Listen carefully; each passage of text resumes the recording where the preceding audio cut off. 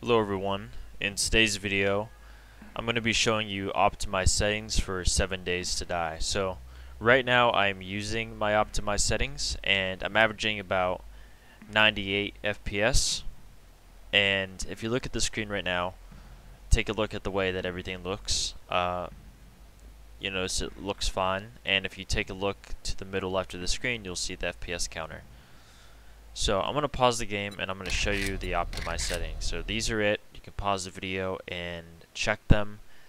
Uh, Anti-aliasing though, it this is actually subjective to what your resolution is. If you're at 1080p Ultra, I'm at 1440p and I find that high works. And if you're at an even higher resolution, perhaps you could go even lower. And then all of these, you're going to want it this, you're going to want it this. Now what I'm going to do is I'm going to put every setting, I'm going to max every setting out. Now the reason I'm going to do this is to show you that there is no visual difference between maxing out the settings and, well, my optimized settings.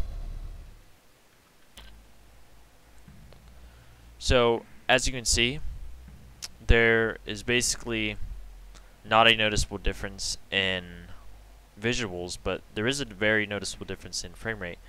We're getting over 10 FPS slower, actually much lower than that. Uh, I think we're getting about an FPS, 18 FPS decrease, and there's no noticeable visual improvement. So, thank you for watching the video. I hope this helped you make your game run better.